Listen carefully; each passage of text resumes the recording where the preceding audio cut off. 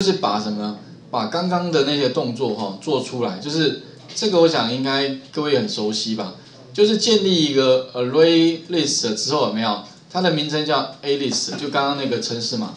只是说后面我那个四先拿掉了哈，其实你不拿它那个四，只是说为了证明说它其实可以超过四，自动会加五，OK。那我们这边增加了几个，增加了呃四个东西。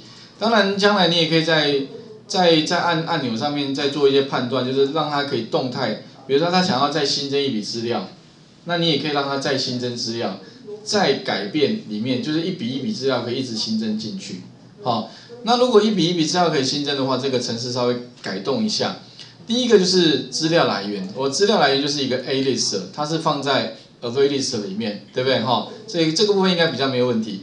会比较问题应该是下面这个部分，就是 list view 要能够怎么样呢？要能够哈呃把资料倒进去的话，需要一个 adapter。那这个 adapter 比较特殊，它是一个连接器。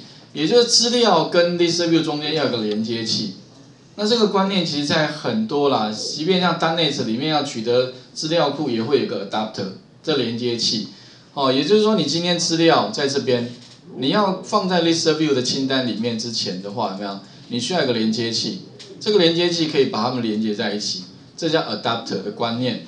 那所以呢，我必须要先再建建立一个所谓的 adapter，比如说这个 adapter 叫 array adapter。前面是 array list，这个叫 array adapter，好，然后也是一样泛型泛型物件，就是你可以啊给它一个集合，然后呢名称叫 a adapter 好了，哦名称这个是一个物件名称，它是一个连接器嘛哈，因为配合什么 set adapter，然后后面也是 new 一个 array adapter，然后也是一个泛型物件，那我们后面哈特别注意哦，要传三个参数，这个三个参数可能会稍微麻烦一点点。第一个参数是你的就是画面控制器是哪一个？你的 activity 是哪一个？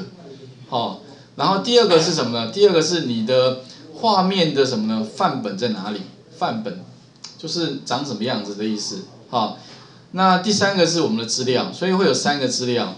你可以先这样啊，这个地方哦，这样，这个会比较麻烦，你就建一个 array adapter，好，然后 adapter 名称对不对？new 之后，如果你不知道参数要传什么的话。你就给它一个刮弧，游标放上去，它会提示你，好，会有三个，但其实你可以找到那个这一个呃这个第倒数第二个就是一个 context，那 context 实际上指的就是所谓的容器，那容器部分的话在 Android 里面呃蛮特别的，所以你你看到容器，你基本上就可以把它当成是一个画面控制器好了，好，谁是画面的？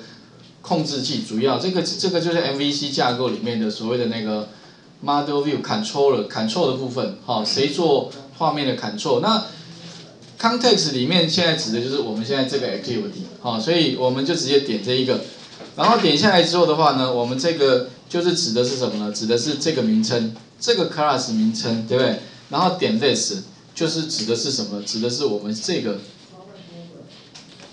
点 this 好，你就打一个点 this 就可以，OK。然后后面的话，这边有一个数字，这个数字的话呢，基本上就是指的是我们的范本的 ID 哈。然后再来就是一个我们的 this 这个这个 array list，把它放过来。